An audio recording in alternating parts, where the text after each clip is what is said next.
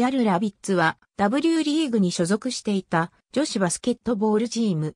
現在 W リーグに所属する新潟アルビレックス BB ラビッツの前身となったチームである。チーム所在地は東京都品川区。母体企業は日本航空。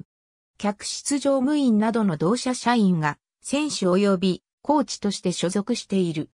日本航空の会社構成法適用に伴い、バスケットボール部の今後についても注目されたが、2010年3月2日、2010から2011年シーズンをもってチームを配布することを発表した。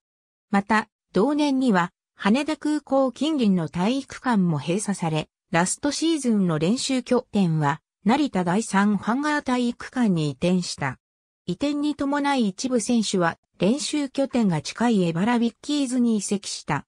2011年2月20日対愛新戦200から69で勝利し44年の歴史に幕を閉じた。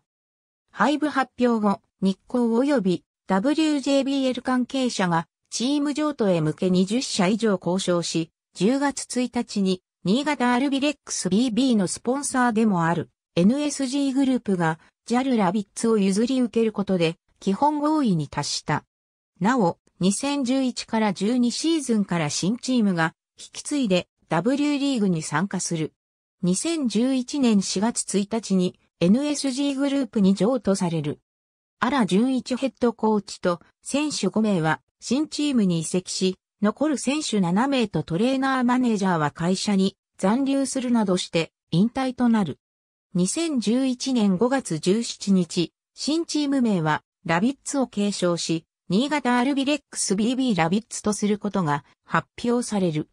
元日校の5人に加えて、大卒新人3人が加わる。選手は NSG グループ職員として勤務に就く。2009年10月11日、船橋アリーナ星、玉井は、食卓社員として、ラビッツのカラーに惹かれ、ラビッツ最後の新入部員として参加。ありがとうございます。